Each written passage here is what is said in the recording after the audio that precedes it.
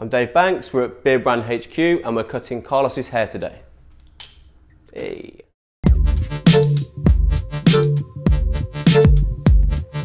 You want to get a little bit of the, rid of the blonde, don't you? Well, yes, if if possible, but I don't want to ruin the haircut just for the sake of getting rid of it. Yeah. But if you, if, you, if it's possible to get rid of some of it, or I, I know that probably not all of it, but some of it's fine. If all, great. Yeah, I think it would, that would be a gradual process to be honest. We- We'd have Yeah, to be really yeah. short to take all that out. Yeah.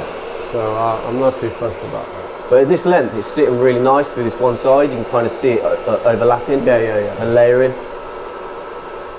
So I'm just detangling the hair. I've got it sitting really nice now, kind of in the shape it's going to stay. And we're going to keep this shape. We're going to graduate from the front to the back. Take a little bit out of the crown because the crown's going to stand real high otherwise. And we don't want that. I, think, I feel like I'm really short, or this chair doesn't go down as low as I. I think it goes low, I think I need yellow pages or something. No, I think that's it, dude. That's as low as it goes. I'm really Is am it? feeling short at the moment. Well, you are short. Yeah, I am short. I'm so short here. Everyone's so big as well, aren't they? You're in Texas. Everything else is bigger than you. So we're going to start with the back. We're going to work this crown out. Take a diagonal section. And I'm just going to club cut some of that blonde. Dude, was this the colour you actually wanted to go? Or was No, this no, no. I had silver, but Okay. you know, you have to go blonde to get silver in. Yeah. So I did add, add a blonde for a little while because couldn't be bothered to go back and get it dyed silver. Just thought just leave it. So this blonde's almost working like a guide for me at the moment, which is good.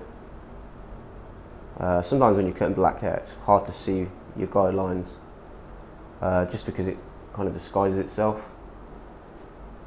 But we can see exactly what's going on here.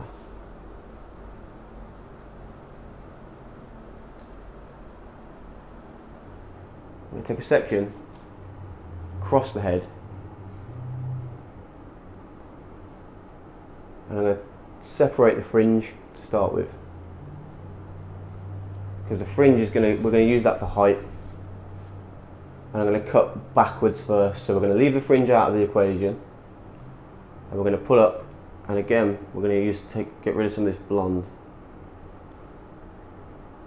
Now we don't want to take too much out of this side. Because that's where we'll lose the volume and the height. Dave, you're making me sleepy, man. I'm making myself sleepy. It's not the talking. I've got, I've got you like like. a dulcet tone, haven't I? It's like giving me a head massage, mate. Oh, well, it's not the voice. No. Oh, I thought I had a bit of a Morgan Freeman voice then. Uh, I'm Well- Morgan Freeman. not quite there. I don't think anyone will ever narrate as good as Morgan Freeman. He can narrate to anything, man. could, yeah. So yeah, I'm making a point of trying to get rid of as much of the blonde as possible without compromising the style. It's hard being a barber, you know. You got to take in everything into consideration. People want the impossible. Carlos wants a short. He, wants a non-short haircut with all the blonde gone. It's pretty much what you wanted, wasn't it? Well, yes, you're- you're yes and no. Yeah. But I know it's not possible. I would like it, but I know it's not possible. yeah. It's No, looking better. I don't think I'm one of them people that go to a barber shop and show a picture. I want that exactly that, and I'm What? like bald, and this guy's got a perm on or something I like want that. like David Beckham. you know what I mean? Hey, I had the best one recently, right? A guy came into the shop and he sat down with one of the other barbers and he said, uh, I want my beard like this. And we thought he was pulling out a phone and he pulled out a piece of paper that he'd drawn a beard on. You drawn a beard He'd hand drawn a beard. on what? A picture of it him was like a pattern. He'd drawn like a pattern, like the sides were all shaved out. It had like a swirl here. No, it wasn't a face on it, it was just a beard. Oh my god! He like freehand designed it. It was pretty cool to be honest. 10 out of 10 for creativity. wow. But yeah, that was unique, mate. We really we enjoyed that. Did you do it? Uh, I didn't do it. One of the other barbers did. He did a really good job on it as well. They But, did? Yeah, it was uh, it was unique. I've never seen anybody do that. Okay, so we've got the fringe here now. It's slightly longer as it comes over, and we've got a hangover here, so it's almost undercut, as you can see. So we want that to lie back in layers. So I'm going to start working sideways here and join it to the back of the head without taking anything off the front of the fringe. So we're going to take another diagonal section.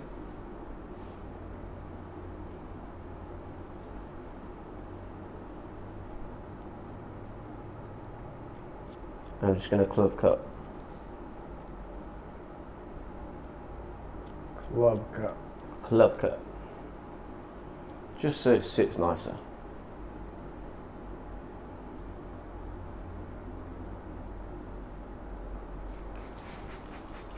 I think what I was trying to say earlier was a lot of time people give the same haircut to each client, to every client. They don't tailor the haircut to specific shapes.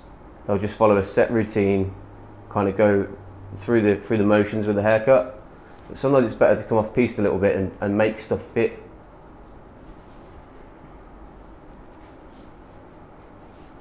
So I'm still going to work. I worked to this side of the head, and I've come around about halfway. And now I'm going to start taking all the way to the back and connecting in diagonal sections with palm to face.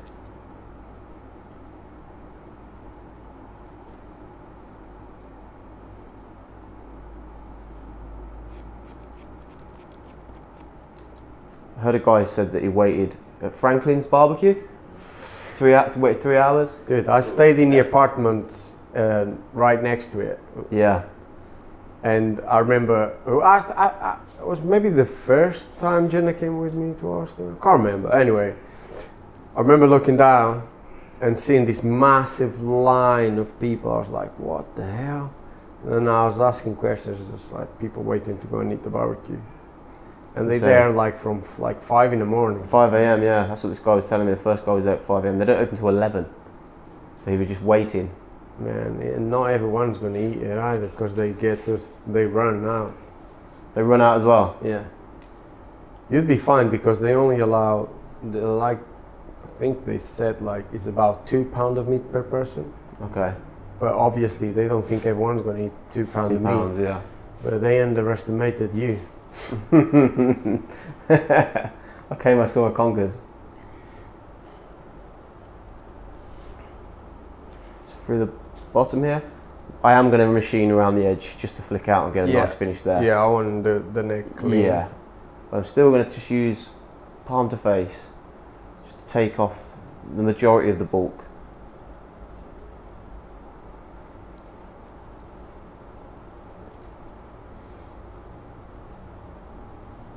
Can't play for soccer anymore, dude. I've had a high a high sprain. Uh, the last game I played was about three months ago, and it's my foot's just not been right since. The whole ankle's been really sore. Yeah, things don't heal as fast either. No, Yeah. I've been lucky. I've been quite lucky throughout the years not get major injuries. You know, I never broke a bone. Nothing like that. I think some people are lucky and some people are accident. I'm, I'm definitely accident prone. I do go home like after, uh, like when I play in England, I play league, Sunday league, right? Yeah, And I do go home after, man. Sometimes I struggle to walk a little bit in the first first day, yeah. the next day. And shit, loads of bruises and cuts. Yeah, it's um. Oh, do you know I broke my collarbone just running? No one was around me. It was it was the most embarrassing thing ever, and the whole game had to stop and I had to be stretched off.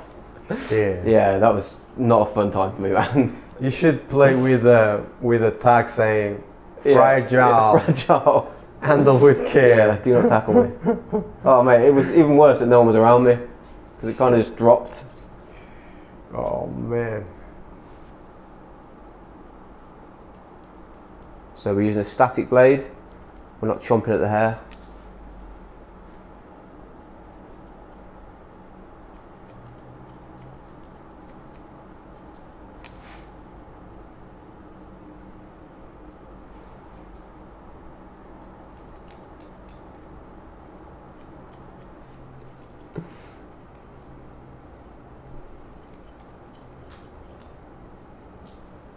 So we're looking here to keep almost like a, a line of weight. It's got to be nicely blended, but we don't want it to kind of be up and down here because this really defines the haircut, the parting.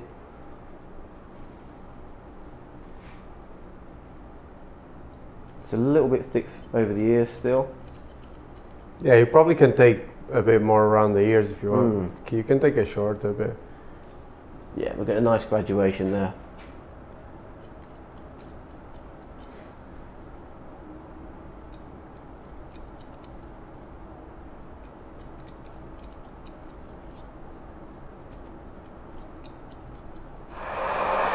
Okay, so we're using the round brush and we're just going to start finding where this haircut's going to sit nice on top now.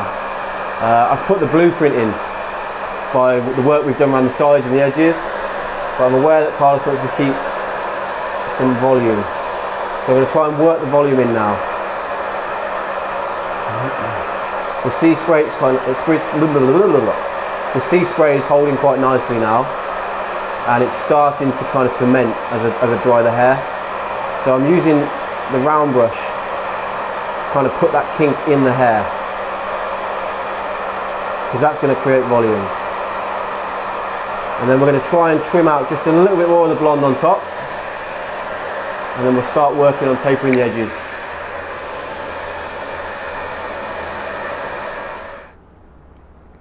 Okay, so just to thin out a little bit of this colour, we're going to use a 20% thinner.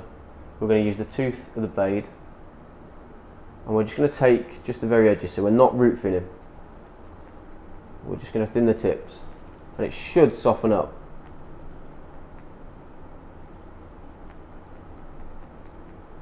Because it's very blocky at the moment. It's kind of a block, a block colour. Yeah, that's having the desired effect.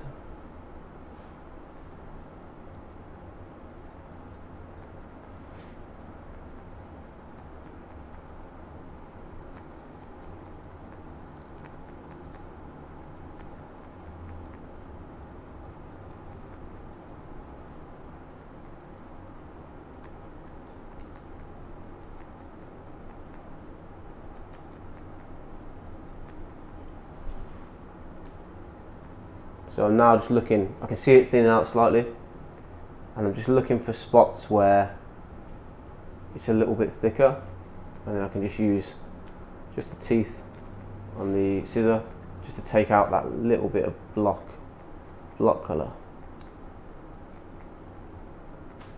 Okay, so we've got a number two guard on the clipper. The blade is going to be closed and I'm going to just start tapering out here. We're not going down to a zero, We're going to take it down to like a point, 0.5 at the very edge. It needs to be a natural transition.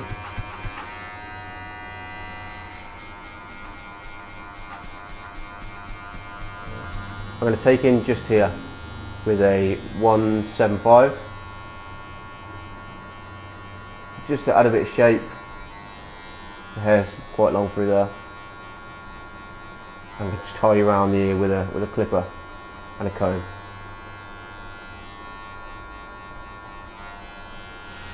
So using the corner of the clipper here, it gives you kind of an edge, makes the clipper agile, but then removing the bulk, you want to use the bottom blade of the clipper.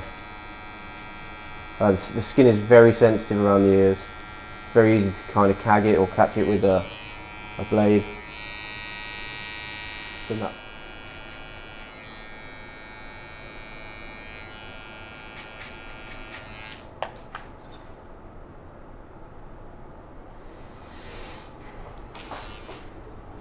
Okay, just stay there a second.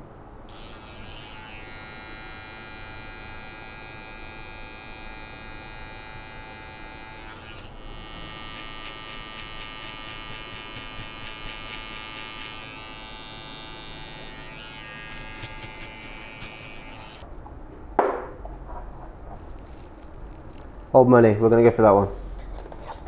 Okay, I took a small amount of styling balm. Scent's really nice. I'm going to apply it, I'm going to rub it to my fingers and we're going to apply it to the hair. So we want to get this kind of to the root. We don't want it just to sit on the surface.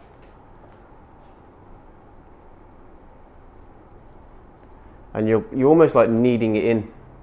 So you want this to sit through here. So you see the, the texture and you can al- almost make a bit of a pattern in with your fingers and it'll give it a nice finish where it looks like it's been styled and not just blow dried and left to set.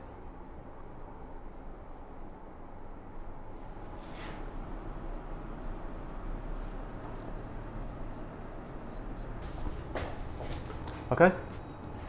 Happy with that?